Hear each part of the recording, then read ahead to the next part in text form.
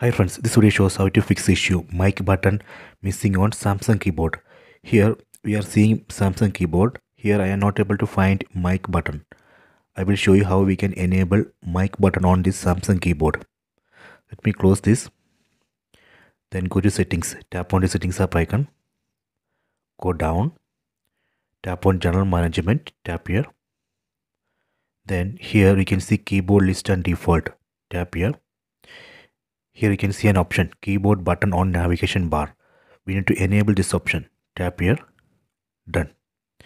After that let me test. Close this. Open this messages app. Tap on this new message icon.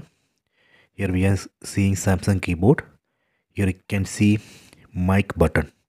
Tap on this mic button. So let me test. Hello, hello, hello. Testing. See, it's working. Hello, hello so this way we can enable mic button on samsung keyboard. If mic button is not visible in samsung keyboard this way we can bring back missing mic button. So you can try this. I hope you have enjoyed this video. Please subscribe this channel. Please like and share the video